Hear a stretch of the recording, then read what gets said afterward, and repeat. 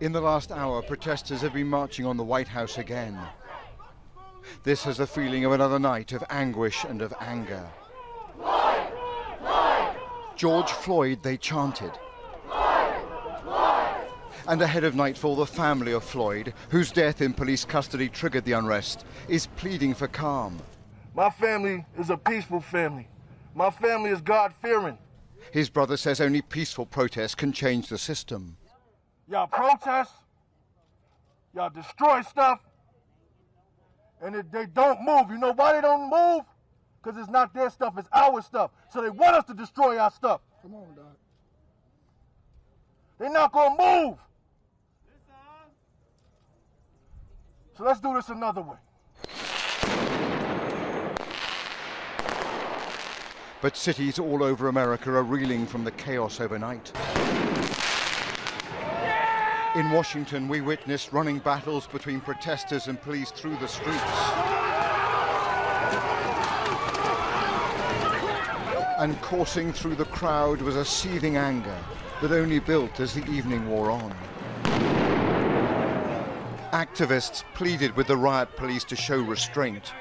Why don't you guys stand up against the bad cops? Alonzo was kneeling directly in front of them and begging the officers not to baton charge the protesters yet again. What is your message to these police officers? My message to treat us like American citizens, to treat us like we matter, to treat us like you're actually here to protect and serve. There's no reason for y'all to pull a gun out on us before actually trying to figure out the situation, to try to understand the situation. I've been shot nine times so far by rubber bullets. What have I done? I got bum rushed on my knee the same way with my hands up. And this is just playing out just a few meters here from the White House. A row of police officers here trying to keep control. The White House and the president in lockdown. He is barricaded in that building while we've got protesters outside and a row of police officers trying to regain control of the nation's capital.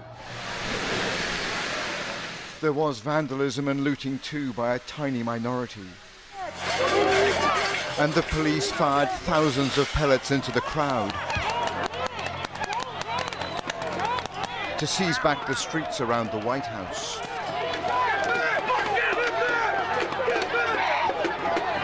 Several buildings were set alight. For some black activists, such acts of violence are themselves a tragedy. Don't shoot! For these largely peaceful protests, powerful and eloquent, are in danger of being hijacked by more militant elements. We gotta come together and we gotta kneel. We gotta be peaceful. This, you see all this? No, this is not gonna get the message. They're gonna continue to ignore us because of this. These street skirmishes lasted for several hours. And this is just one city among dozens across the country that are experiencing this wave of unrest and the re-emergence of deep-seated racial grievances. Ariana had come to the protest to have her voice heard, warning that America is now at a crossroads. Hear our voices, sit down with us, meet us at the table, and meet our demands. If there is not systemic and uh, radical change to the criminal justice system, then we can't save you from all the anger that the black people have. It's 400 years of pent up aggression. There is a sense that America is now on the edge, tested by a pandemic and by a president who cannot hear the cries of burning injustice that are echoing outside of his own residence. Robert Moore, News at 10, Washington.